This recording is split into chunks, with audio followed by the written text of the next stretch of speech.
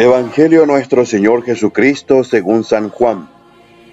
En el principio ya existía aquel que es la palabra, y aquel que es la palabra estaba con Dios y era Dios. Ya en el principio Él estaba con Dios. Todas las cosas vinieron a la existencia por Él, y sin Él nada empezó de cuanto existe. Él era la vida y la vida era la luz de los hombres. La luz brilla en las tinieblas y las tinieblas no la recibieron. Hubo un hombre enviado por Dios que se llamaba Juan. Este vino como testigo para dar testimonio de luz, para que todos creyeran por medio de él. Él no era la luz, sino testigo de la luz. Aquel que es la palabra era la luz verdadera, que ilumina a todo hombre que viene a este mundo.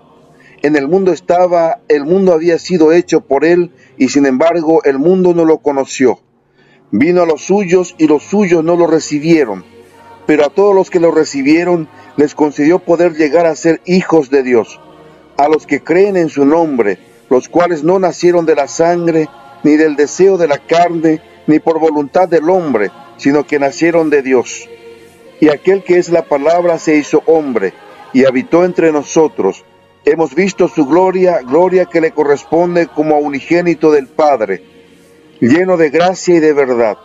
Juan el Bautista dio testimonio de él clamando, a este me refería cuando dije, el que viene después de mí tiene precedencia sobre mí, porque ya existía antes que yo. De su plenitud hemos recibido todos gracia sobre gracia, porque la ley fue dada por medio de Moisés, mientras que la gracia y la verdad vinieron por Jesucristo. A Dios nadie lo ha visto jamás. El Hijo unigénito que está en el seno del Padre es quien lo ha revelado Palabra del Señor.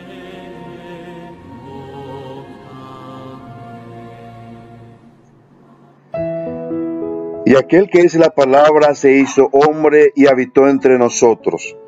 A través de los tiempos Dios se fue revelando a los hombres y su palabra fue guardándose por escrito hasta llegar a constituir la Sagrada Escritura. Todo lo que nos enseña la Escritura se resume en esto amar a Dios sobre todas las cosas y al prójimo como a uno mismo. Sí, esto es todo. La fe en su conjunto se reduce a un acto de amor que se dirige a Dios y a los hombres. El mensaje de la Navidad también es este, amar a Dios con todo el corazón y con toda nuestra alma. Dios está a nuestro alcance, no está lejos de nosotros, no es un desconocido, se ha hecho niño por cada uno ha puesto su morada entre nosotros, se ha hecho don para mí. Navidad es sin duda una fiesta de regalos, pero entre todos el mejor regalo y el más difícil de dar es el de convertirnos en don para los demás. Dar significa entregarnos a nosotros mismos. Presentémonos al niño Jesús y digámosle que desde ahora queremos entregarnos a vivir solo por Él y por los demás. Amén. Que la bendición de Dios Todopoderoso, del Padre, Hijo y Espíritu Santo, descienda sobre cada uno de ustedes y permanezca para siempre. Amén.